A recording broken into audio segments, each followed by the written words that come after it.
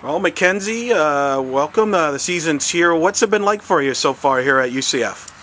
Really good. Um, off to a good start. Fall was really fun with all the girls, and I'm just really excited to actually play like D1 softball. You had a lot of fans in the fall that watched you pitch, very excited. They really enjoyed watching you. Uh, what was that fall ball like for you? You really excited, dominated, and it was very good.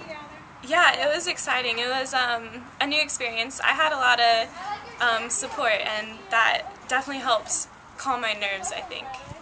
Take, take me through the process of when you picked UCF. Uh, what was your thinking going in?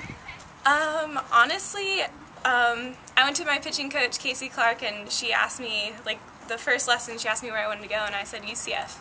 And so ever since then, that was kind of my goal, and she helped me reach that goal. So.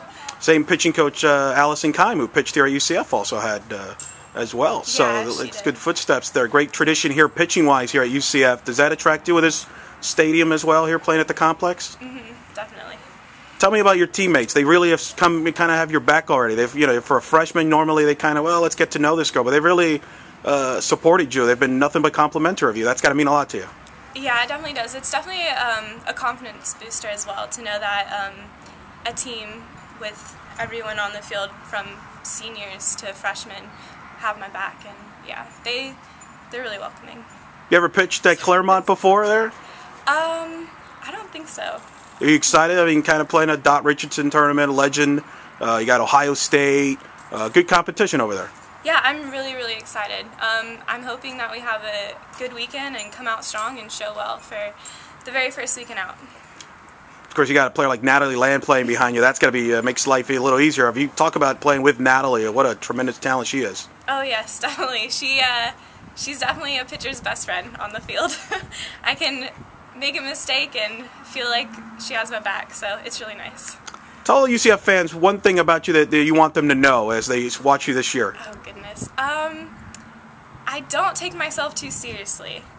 Um, I like to have fun, and that's one of the big things about college ball that I think people don't do is they they're too serious, and I just I love to have fun. I'm a jokester. People, I might I probably shouldn't say this, but people on team call me princess.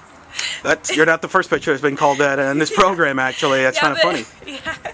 Uh, but you're very competitive when you get on the field, though. That's one thing the players have said that you know how to turn it. A you got the game face on on game day. That you really know how to turn it on. How do you do Yeah. that? Um, I don't know. Is I it something that just comes natural? Yeah, I guess. I don't really. I guess I just try and stay really focused and you know try and do my best, and that's how it comes off. Is I'm really focused. Do you set your? Are you the type that likes to set yourself goals, uh, individual goals? Do you have team Yeah. anything that jumps out? Um, I love to stay ahead in the count. That's one of my main goals to work for because walking is always bad. So I try and stay away from that, and staying ahead in the count also helps boost your strikeout percentage. And every pitcher loves a strikeout, per, like a high strikeout percentage. Well, Mackenzie, uh, good luck this season. Thank you.